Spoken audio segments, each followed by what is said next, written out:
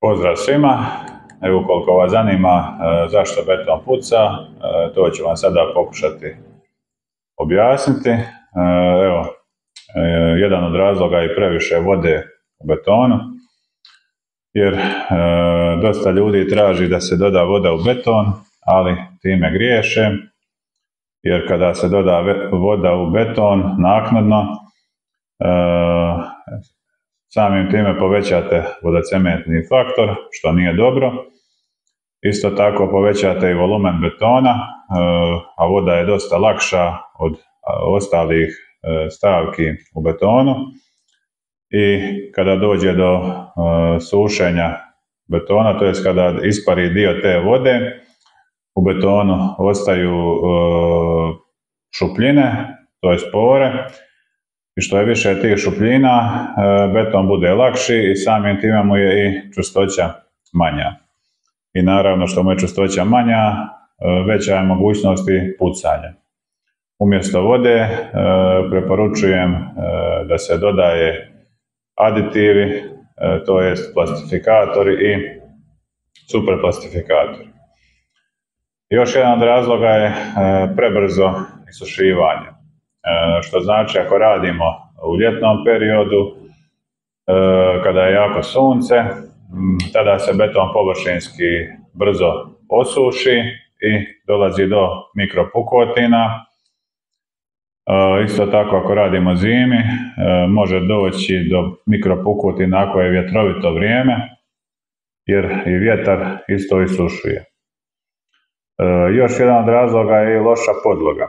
Znači ako ugrađujete beton negdje na tlu, a niste to tlo dovoljno zbili, e, ono će se nakon betoniranja u dogledno vrijeme e, početi samo slijegati i stvorit će se šupljina između, e, između tla i betona.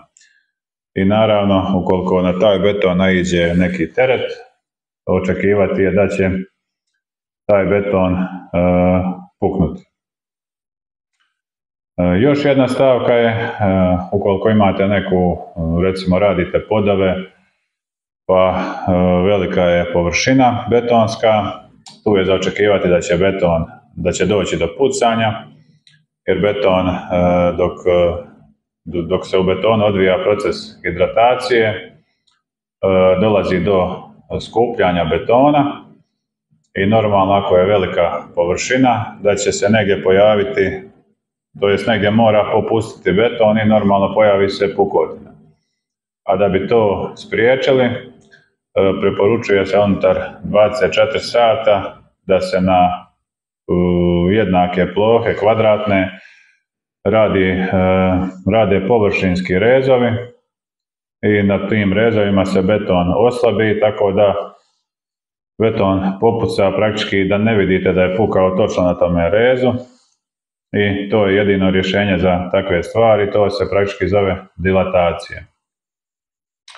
E, još, jedan, e, još jedna stavka zbog koje beton puca je i loš materijal, to je loš agregat najviše, jer u agregatu se može, može, sadržavati, može agregat sadržavati zemlju, a zemlja isto tako e, odmah beton traži više vode i, i, i taj beton je slabiji jer je i agregat slab. Znači zemlja umanjuje e, betona i ukoliko je agregat ovisi od kakve vrste kamena i to isto igra veliku ulogu. I naravno omjer sami e, agregata, cementa i vode.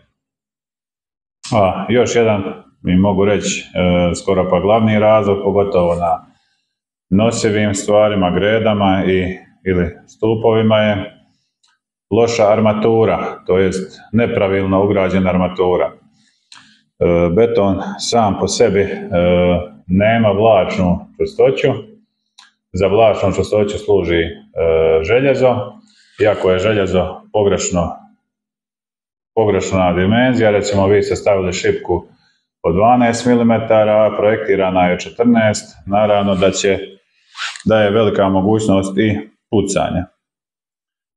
I to je to. Ukoliko vam se sviđa ovaj video, možete se pretplatiti na moj kanal i hvala vam što ste gledali.